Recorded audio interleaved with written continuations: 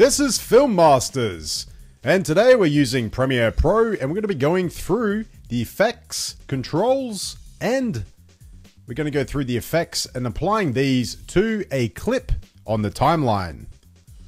So how we add effects onto our timeline is pretty simple. First of all, let's have a look at the effects controls window. So we've got the clip selected, so that's the most important thing. Once you select the clip, you're then able to modify it. So let's have a look at what we can do with it. So let's just drop down, first of all, the motion. So this allows us to adjust the position of the video clip in our screen. We can go left and right, obviously. Um, we can do keyframes as well to the video. For example, I could select a keyframe. As you can see, toggle through the timeline and slide the video. So then when I play it, by pressing spacebar on the keyboard, as you can see, it moves. So that's one thing that we can do on the effects control. Something else we can do as well is adjust the scale of the clip. And obviously you can keyframe all these. Uh, rotation, we can adjust the rotation of the clip. We can also adjust the anchor point, where we want the anchor point to sit and we can also do anti-flicker. One of the other things that we can do as well is opacity. Now this is really good. Let's say for example we want to fade in. So we might press the space bar, let it play out, stop. I want to add a keyframe here. So let's go up and add a keyframe. Let's go back to the beginning. Bring the opacity down to zero. So when I play it, we've got a nice fade in. So that's how we can do fade ins in Premiere Pro. Now, I can remove that by simply unclicking it. It will tell me that with a warning saying this action will be deleted existing keyframes. Do you want to continue? I select OK, and as you can see, it deletes those keyframes. We can also adjust the speed of the clip via time remapping, so we can speed the clip up, or as you as you're probably aware, we can adjust it and make it slow, like slow motion. Something else that you'll notice in the uh, effects controls window is that we can also adjust the volume for the clip. So I can adjust the volume up and down and the channel volume. We can also adjust the pan of the sound. Let's say, for example, I want a gunshot or a car to come from the left hand side of the screen and make it sound like it's going through to the right hand side. I can adjust the sound to the far left, setting a keyframe, move it to the right, and adjust it to the far right. So what will happen is allow me to have a sound pan from left to right. But we'll cover all this when we do the audio mixer. So I'm just going to reset that. Let's put it back to zero. Now I'm going to start playing it down here with the effects palette. Now in this effects palette, as you'll see, we've got some already pre-existing presets that have been set in there.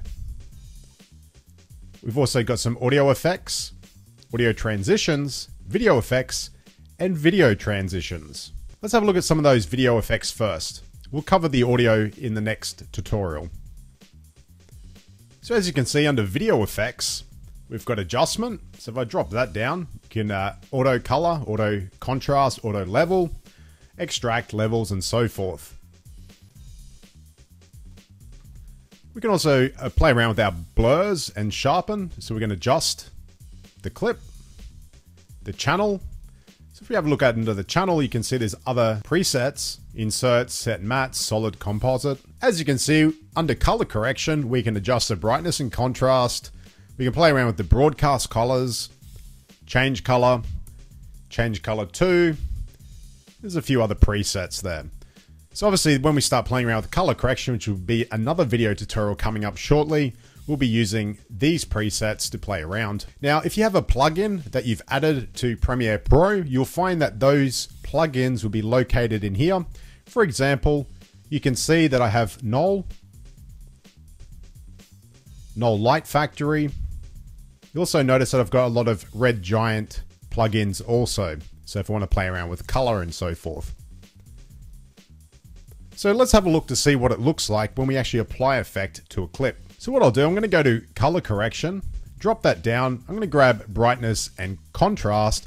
And I'm going to drag it straight onto my clip.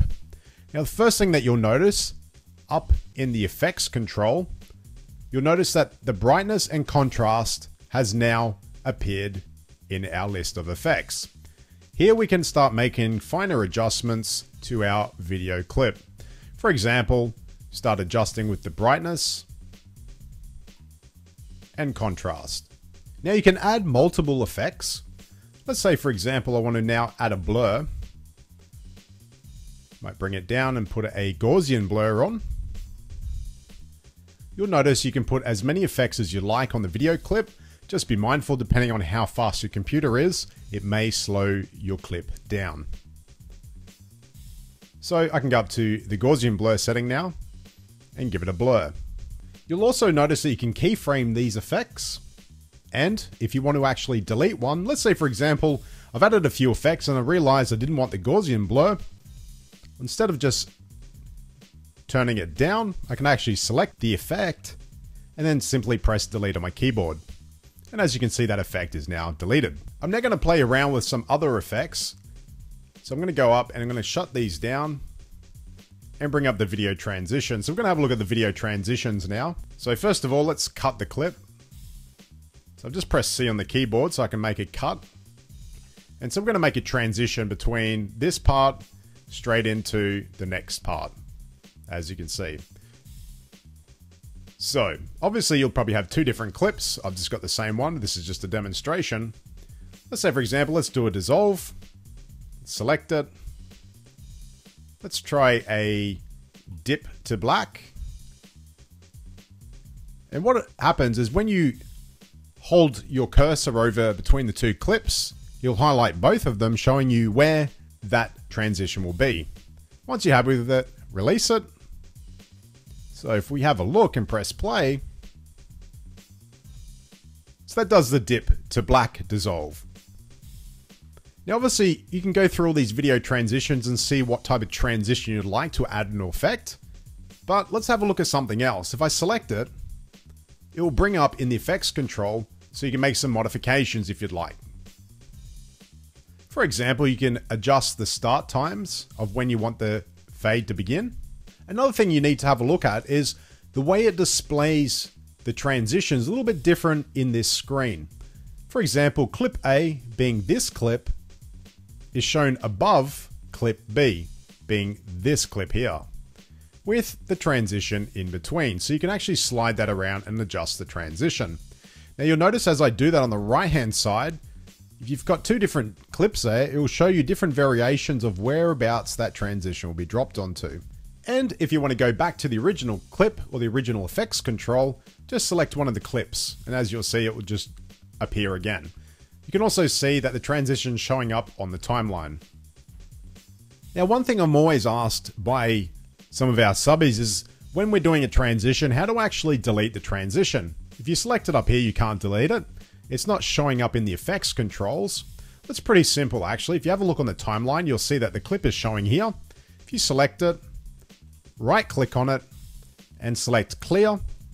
The transition's gone and then you're able to go through and find another transition that you may like to use instead. So we've now covered the effects controls. Once you've selected the clip, you can then adjust each one of those clips individually. And I've also showed you the effects palette, where all the effects are located. Now let's say, for example, you want to do something to a clip without actually touching the clip, without even uh, affecting the clip. Something else I want to show you, which we'll get into a little bit later on in these upcoming tutorials, is in Premiere Pro CS6 and above, you can also add a new layer. So what it is, is a new adjustment layer. By selecting that, if you use After Effects, for example, you'll be aware of how adjustment layers work. Same thing in Premiere Pro. So I can add an adjustment layer above all my clips like so. If I select that, I can now drop down, say, a video effect. Might go to color correction, brightness and contrast, drop that onto my adjustment layer. And what that means is anything underneath the adjustment layer will be affected. So if I move it across and cover all the videos I want affected with it, I can now adjust all the videos on the timeline using just the adjustment layer. We'll be covering the adjustment layer in the next video tutorial, which will be color correction. Now, if you want to become a film master subby, it's pretty simple. All you need to do is simply jump onto our channel, subscribe, like us on Facebook and on Twitter. And until next time, don't just film it, master it.